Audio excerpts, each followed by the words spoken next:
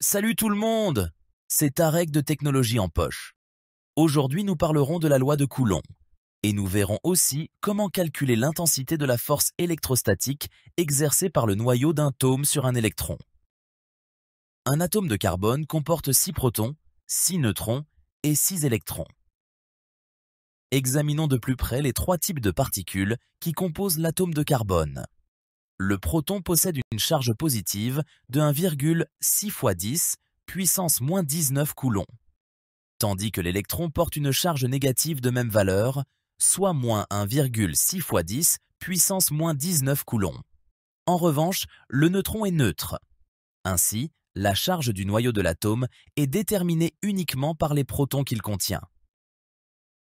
Étant donné que l'atome de carbone possède 6 protons, sa charge Qn est donc égale à 6 fois la charge d'un proton, soit 6 fois 1, 6 fois 10 puissance moins 19 coulombs, qui égale à 9, 6 fois 10 puissance moins 19 coulombs. Maintenant que nous avons déterminé la charge du noyau de l'atome de carbone, calculons la force électrostatique qu'il exerce sur un électron situé à une distance d'un virgule 4 fois 10 puissance moins 10 mètres. Je te rappelle que pour calculer la force électrostatique, il est essentiel de se référer à la loi de Coulomb. Mais qu'est-ce que la loi de Coulomb précisément? Le physicien français Charles-Augustin Coulomb a établi une loi, connue sous le nom de loi de Coulomb.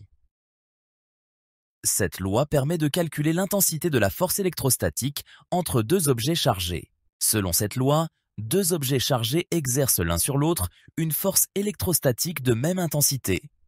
La valeur de cette force est égale à une constante K multipliée par la valeur absolue du produit de leur charge, le tout divisé par le carré de la distance qui les sépare.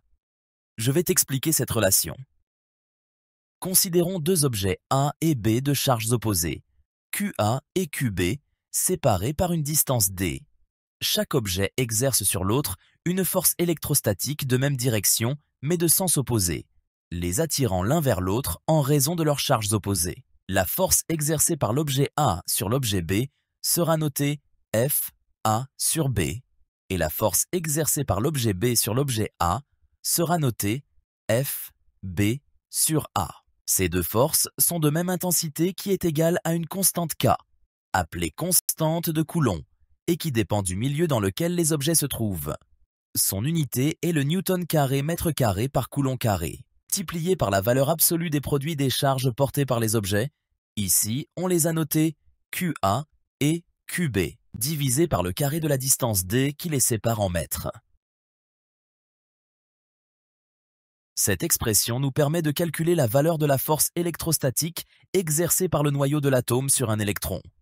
En remplaçant QA par la charge du noyau et QB par la charge d'un électron, on obtient la relation suivante. K est une constante égale 9 fois 10 puissance 9 Newton mètre carré par coulomb carré. La charge d'un électron est de moins 1,6 fois 10 puissance moins 19 coulombs. La charge du noyau est de 9,6 fois 10 puissance moins 19 coulombs. On l'a calculé tout à l'heure la distance d égale 1,4 fois 10 puissance moins 10 mètres. Si on remplace ces valeurs dans l'expression de la force, Fe, on obtient 7,05 fois 10 puissance moins 8 newtons.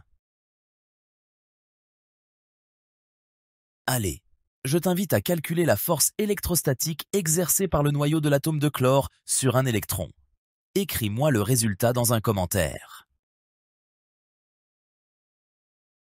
C'est tout pour cette vidéo. Ceux qui sont restés jusqu'à la fin, vous êtes les meilleurs, donnez-nous un like avant de partir.